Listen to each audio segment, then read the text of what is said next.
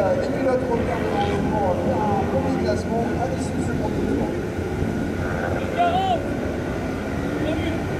Je rappelle qu'on attend le numéro 40